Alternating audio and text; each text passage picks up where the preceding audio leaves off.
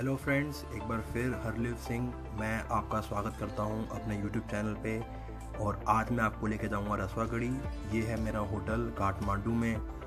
यहाँ से हम सुबह सुबह निकले हैं रसवागढ़ी की तरफ़। और ये होगा मेरा रोड मैप हमें काठमांडू सीधा ऊपर जाना है चाइना की तरफ़। और रसवागढ़ी है नेपाल का लास्ट बॉर्डर और ये आप देख सकते हैं, यहाँ की रोड्स गड्ढे। 10 किलोमीटर बाद ही काठमांडू से रोड्स बहुत ख़राब हो जाती हैं। लेकिन अभी भी ये रोड ठीक है। और ये देखिए आप काठमांडू टॉप से।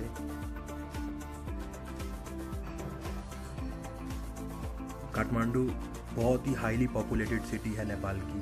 और ये देखिए रोड्स ख़राब हो गई हैं, लेकिन अभी भी ये रोड अच्छी हैं, क्योंकि इसके बाद रोड और भी ज़्यादा ख़राब हो जाएँगी। मैंने साच पास किया हुआ है, जो कि इंडिया की मोस्ट डिफ़िकल्ट रोड है। लेकिन ये रोड उससे भी ज़्यादा डिफ़िकल्ट है। लेकिन अच्छी बात यह है कि यहाँ पे नज़ारे बहुत अच्छे हैं, बहुत ही सुंदर पहाड़ हैं, बहुत ही सुंदर झरने हैं स्पेशली ये वाला वाटरफॉल जहाँ पे नेचुरल स्विमिंग पूल है। बहुत मन था डुबकी लगाने का लेकिन लगा नहीं पाया क्योंकि टाइम की कमी थी।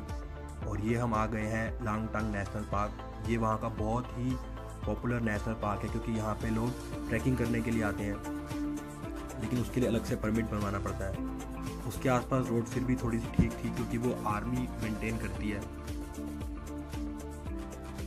गूगल आपको बताएगा कि आप छः घंटे में वहाँ पहुँच जाओगे, लेकिन आपको लगेंगे कुल मिला के बारह घंटे क्योंकि रोड बहुत ख़राब है। आपको बीच में बार बार रुकना पड़ेगा। मैं भी रुक के वेट कर रहा हूँ। लेकिन फाइनली आठ बजे ये रक्सवागढ़ी का चेक पोस्ट है। और सुबह सुबह मॉर्निंग में मैंने ये वीडियो बनाई अपने होटल की। ये हमारा होटल है वहाँ पे, जहाँ पे खाना भी फ्री था रूम के साथ। और होटल का नाम है हिल्टन हिल्टन व्यू नाम फाइव स्टार वाला है। और हम अब सुबह निकल चुके हैं चाइना बॉर्डर की तरफ़। हमारे पास पासपोर्ट भी नहीं है, हमारे पास परमिट भी नहीं है, लेकिन हम कोशिश करेंगे कि हम चाइना के अंदर आपको लेके जाएँ। हमें लोगों ने बोला है कि वहाँ के आर्मी के लोगों से रिक्वेस्ट कीजिए।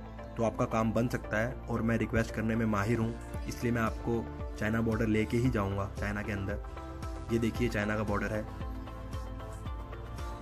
ये चाइना की गाड़ी नेपाल आती हुई।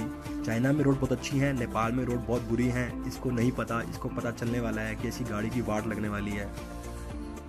नेपाल में रोड के नाम पे कुछ भी नहीं है। चाइना में रोड बहुत अच्छी हैं। मैंने रिक्वेस्ट करी थी आर्मी ऑफिसर से तो अब हम जा रहे हैं चाइना के अंदर। बिना पासपोर्ट और बिना परमिट के।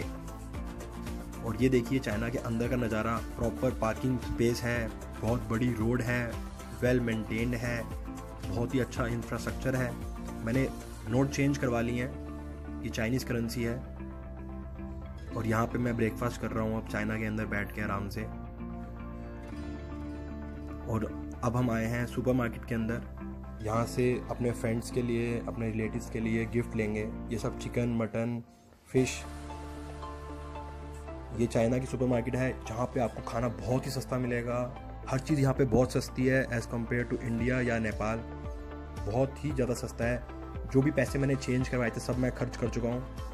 क्योंकि जो भी ले रहा हूँ, मुझे और लेने का मन कर रहा है। ये मैंने शॉपिंग करी है और एक बैग और मैंने बड़ा वाला लिया है। और अब मैं तैयार हूँ वापसी पोखरा जाने के लिए। और फिर से वही ख़राब रोड पे जाना पड़ेगा। सिर्फ़ बिदुर के आसपास रोड अच्छी है, या आखिरी या पहला होटल है। और मैं पोखरा जा रहा हूँ। सिर्फ़ काठमांडू से पोखरा वाला हाईवे अच्छा है, उसके अलावा सारा हाईवे बिल्कुल बेकार है। रोड ही नहीं है। Thank you for